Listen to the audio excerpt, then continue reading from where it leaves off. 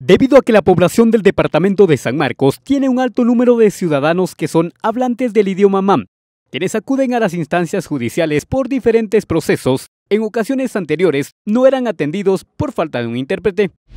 Nosotros acudimos cuando una persona este, tiene dificultades en cuanto al idioma español, entonces esta oficina lo que la función que tiene es de buscar a una persona para ir a atender a esas personas como un intérprete. A diario actualmente se están atendiendo a 10 personas. Este, nosotros tenemos cobertura este, en el altiplano y en la zona costera. Fue a través del acuerdo gubernativo, decreto 158-2013, donde se señala la apertura de centros de interpretación legal en las diferentes instancias del organismo judicial. El decreto 158 del 2013. ¿Qué es lo que dice?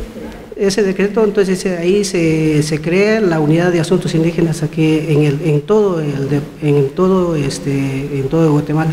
Actualmente este, no todos los juzgados tienen intérprete, pero esa es la intención del organismo judicial.